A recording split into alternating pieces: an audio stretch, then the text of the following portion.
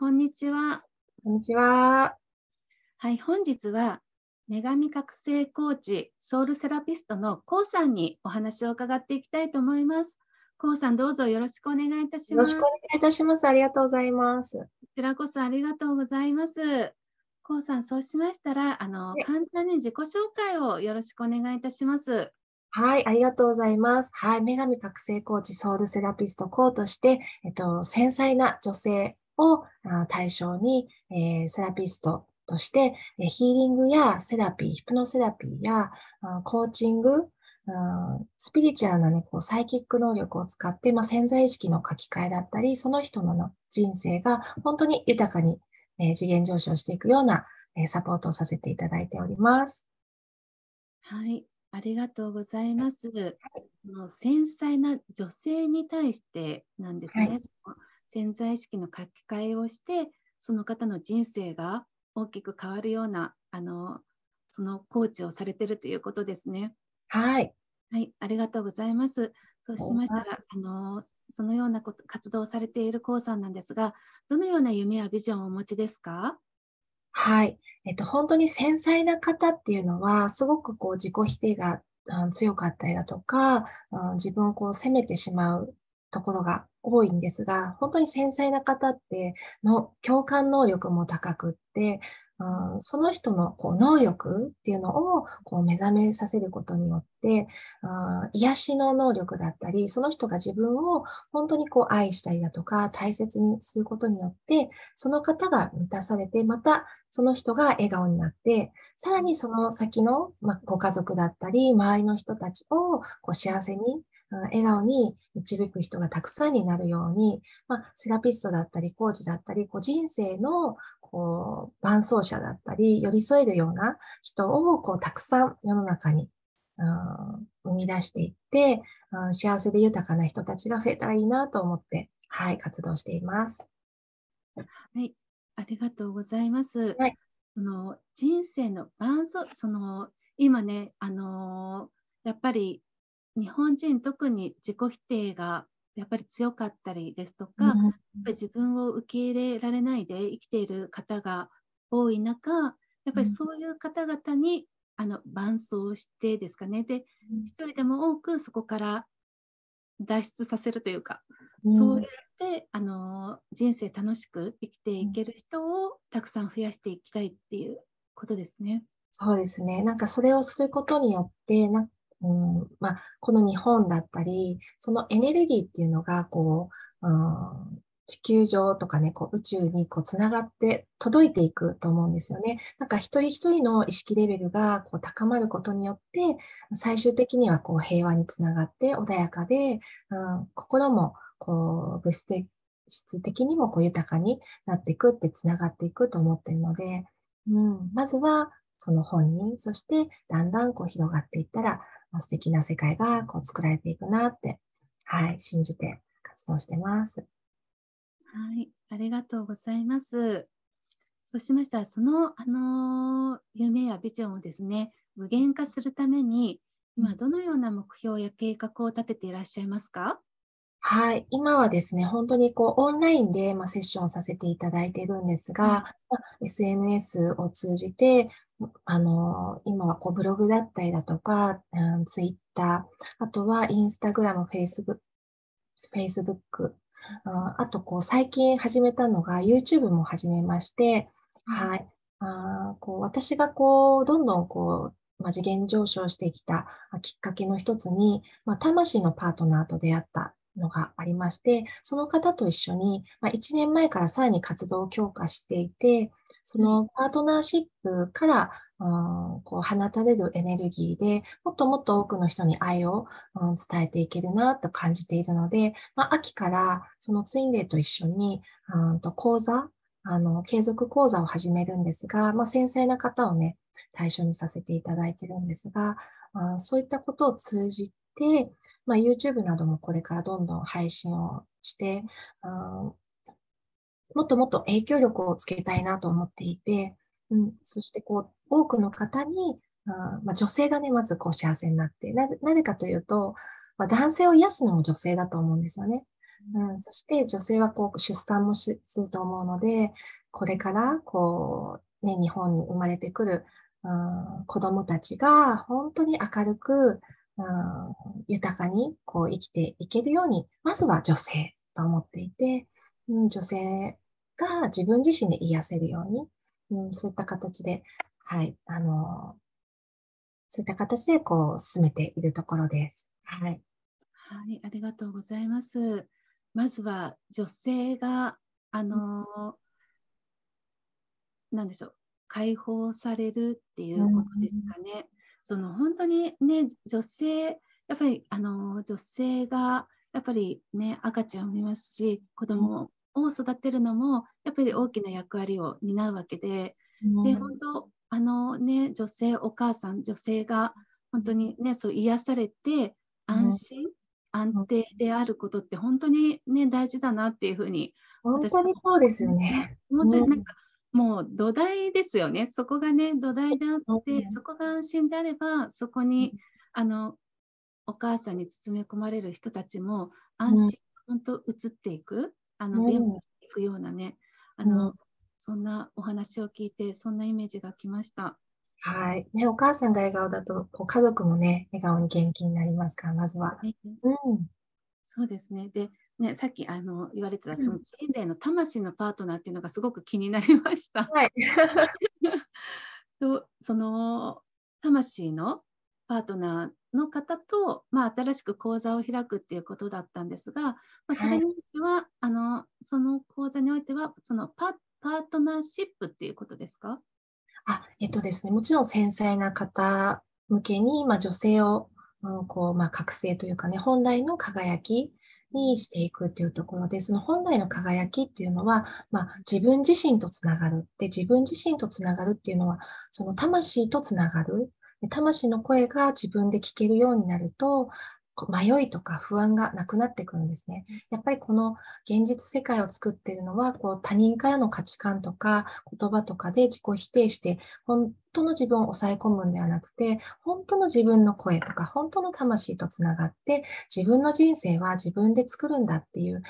意思を持つことによって、やっぱり輝きが取り戻されて、すごく解放されるし、自由にこう自分の人生をクリエイトしていく。その力があるんだって思い出してもらうことがコンセプトではあるんですが、うんまあ、その中でこうパートナーシップで苦しんでいる方もいるので、うん、そこのところもしながら、まあ、自分でこう、うん、ヒーリング能力っていうんですかね、だったりだとか、つながって、まあ、チャレンジングができるようになったりだとか、まあ、いろいろなことを、はい、あの、コンセプトとして取り入れています。はい、ありがとうございます。そ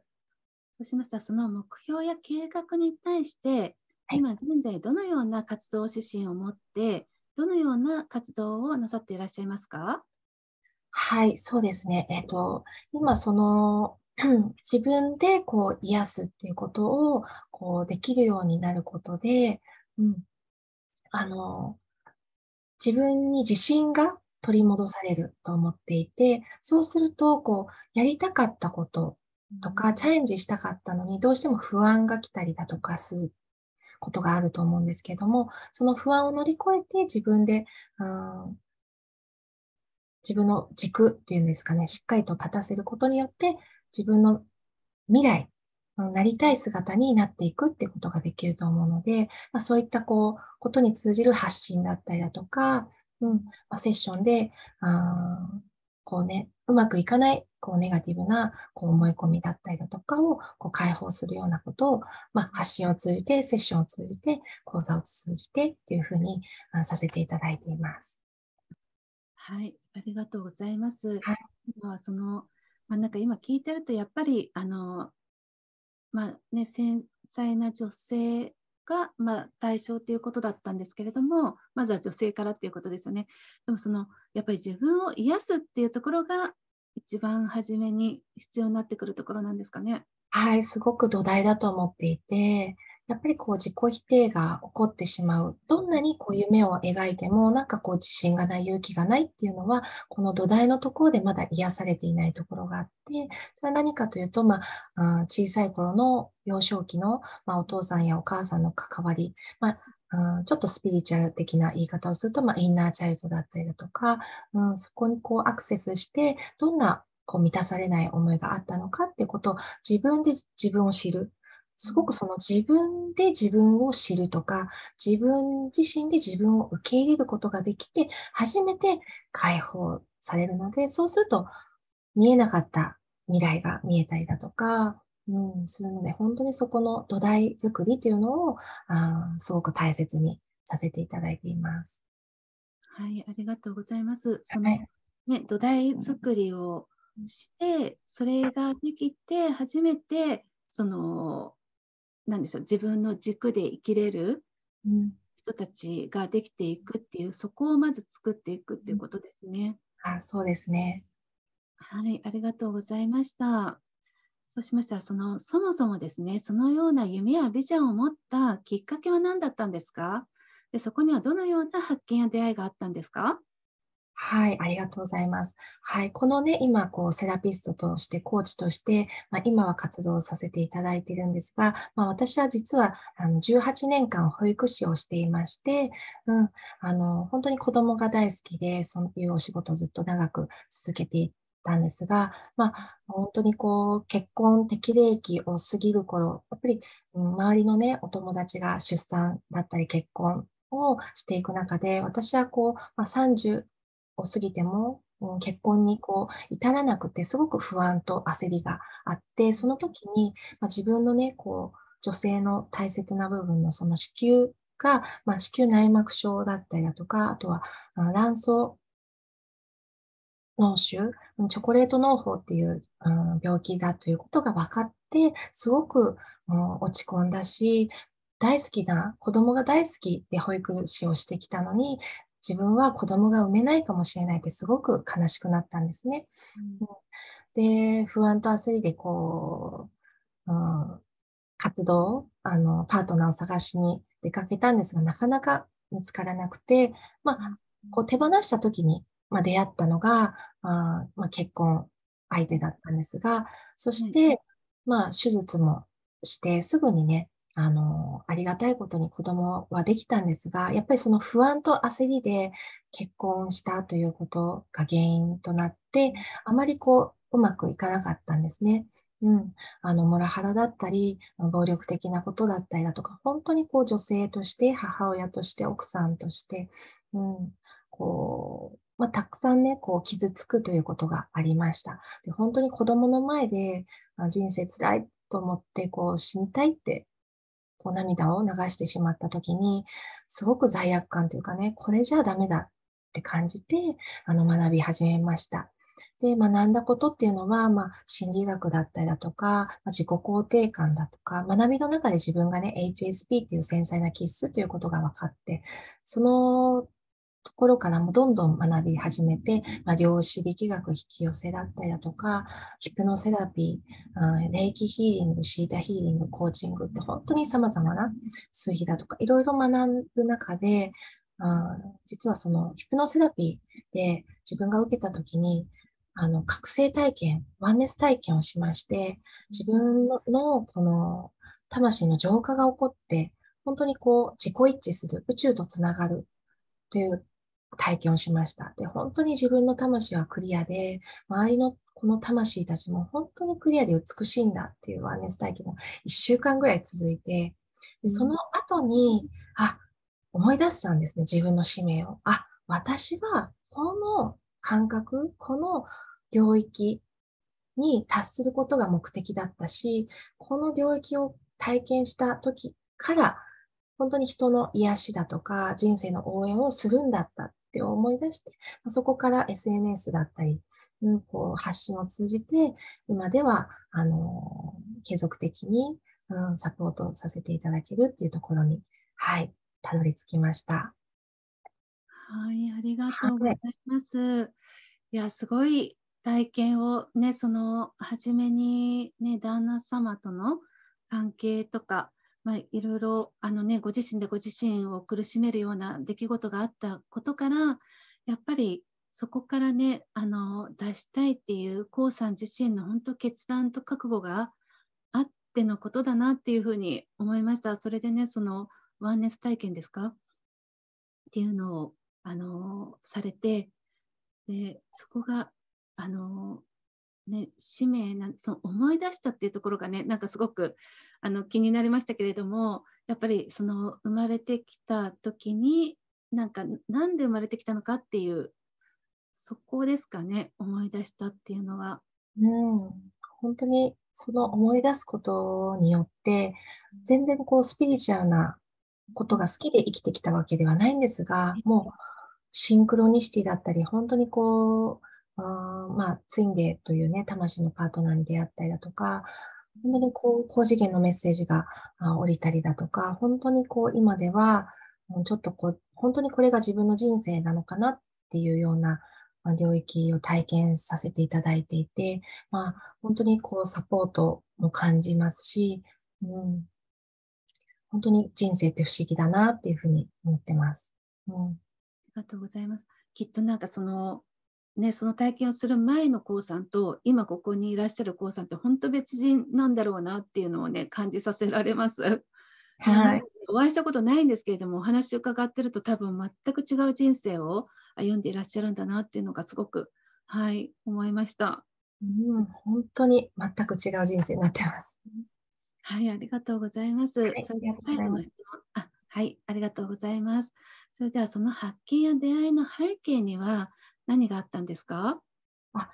もう一度いいですか？そのあの発見や出会いの背景ですね。その、そこに至った、でもその、あのね、お話伺ってると、その、やっぱりご自身が苦しまれたあの、こととか旦那様のこととかでもさらにはその、ね、先ほど初めにあのおっしゃってましたけどもやっぱりあの幼少期の体験とかそういったところも、うん、あの影響してるのかなというふうに思ったんですが、その背景ですね。そうですね。あの背景で言うとこう今その、うん、すごくちょっとスピリチュアルな話をしてしまうと、うん、あの、本当にこう全部決めてきたなっていうこともこう思い出したというか、うん、その、まあ、こうヒプノセラピーでこう自分のこの肉体のに魂が宿るところっていうのも見ていくことができるんですが、中間性っていうんですかね。その時になぜこの両親を決めてきたのかとか、うん、で、私はどういうことを目的として来てるのか、まあ、愛、本質の愛を体験することだったんですよね。なので、本当にそのパートナーシップもうまくいかなかったのも本当に、うん、自分にとって大事なことだったんですね。私はどんな愛を体験したいのかって、やっぱりそこですごく自問自答して苦しんだし、あの両親、まあ、すごくこう繊細なね、両親だったんですよね。すごくあの心のことを大切にしている両親だったですし、うんまあ、本当にこう自己啓発的なことだったり、まあ、道徳っていうんですかね、心のことっていうのは両親からもあのたくさん学んできてで、うん、そうですね、こういろいろなことがあって、うん、そして今はこう魂のパートナーと出会うことによって、本当に点と点が線でつながって、私のこう苦しかったことだったり、うん、今世の人生のすべてが、こう、今に全部つながってるんだなっていうことは、本当にこう思っていて、なので、今ではその苦しかった過去にも感謝ができるようになっているので、うん、そのことも、うん、これから伝えていきたいなって思ってるところですね。本当に苦しみはギフトだとうん思えるときは必ず来ると思ってます。はい、そうなんですね。まあ、その時って本当苦しいことってやっぱり避けたかったりとか、うん、でそういうことが起きてもなんかち違うというかなんかあの何でしょう受け入れられなかったりとかするじゃないですか、うん、やっぱりそこに目を向けたくなかったりとか、うん、あのそうではなくって本当にまあ、あの、こうさんの場合はね、たくさんそういったね、苦悩とかも終わりだったんですけれども、そことね、本当に向き合って、でね、あの、そこを絶対に、あの、脱出するぞっていうね、決断があっての、ね、たくさんのこともやられてこられたし、ね本当だからこそそこで諦めなかったからこそ本当今ここにいらっしゃる k o さんがいるんだなっていうふうに思いました。はい、ありがとうございます。はい、ありがとうございます。そうしましたら、講座、あの最後にですね、こちらの動画をご覧の皆様に一言メッセージをお願いいたします。はい、えー、今日はね、お話を聞いていただいて、最後までご視聴ありがとうございました。あまあ、私自身、いろんなこう人生の体験をしてますが、本当に、うん、苦しみっていうこともあの楽しいこともたくさん体験すると思うんですが、そうじゃないネガティブな体験って、うん、どの方でもされていると思うんですが、そういう時って本当にこう、それって宝物だし、この魂の成長を、促してくれるもう宝物だと思うんですね。神様からの試練は必ず人生を良くするためのギフトだと思うので、何かうまくいかなかった時っていうのは、もうチャンスと思って、うん、どうしたらこのうん、を、これを乗り越えられるだろう。うん、どうしたら人生良くなるだろうって、こう自分に問いかけることで人生がどんどんこう良くなって次元上昇していくと思うので、はい、よかったら、うん、自分と対話して、どんどん輝く人生を送っていただけたら嬉しいなというふうに思います。はい。はい、ありがとうございます。はい、本日は女神覚醒コーチソウルセラピスト、コウさんにお話を伺いました。コウさん、貴重なお時間をありがとうございました。どうもありがとうございました。